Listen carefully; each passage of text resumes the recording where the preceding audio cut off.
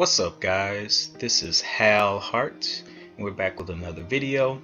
In this video we'll be going over joining layers. Joining layers. So we're going to join our 2018 county health rankings in Mississippi with our STCO. Now remember, last time I showed you guys how to get the county health rankings. So if you didn't see how to get those, you can go back to the previous video and see that. Or if you didn't see how to get the STCO, you can go back to the first import data to see that. Um, let's go. We need to combine the information we have here with the STCO. So let's do that. We'll go to our STCO We'll double click it and let's go ahead and go down to a feature called join. So we want to join this information. So in the STO, we have this little icon down here that's a plus sign. You click on that and notice it automatically brings up the rankings data. And you want to select what do you want to join? What what are we looking for?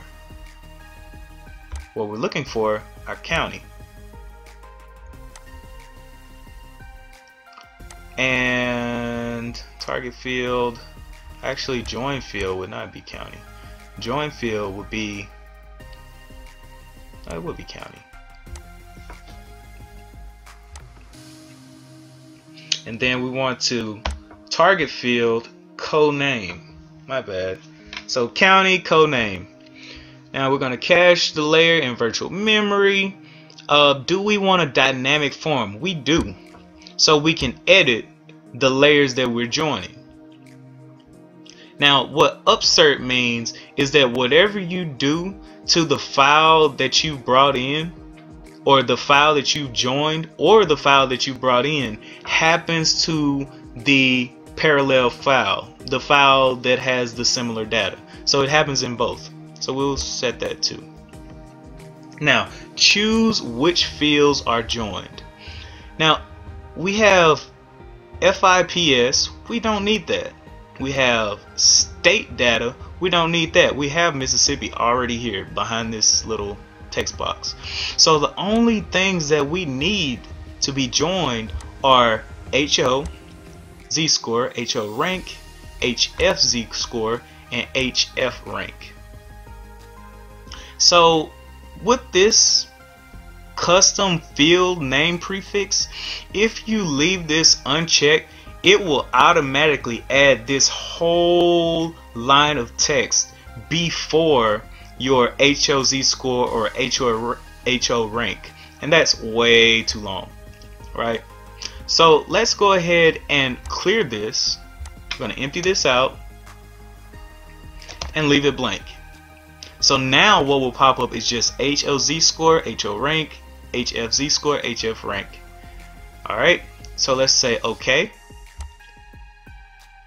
And what we should see out here is a join layer come oh there it is so now this data has been joined and how do we know that? Let's go check.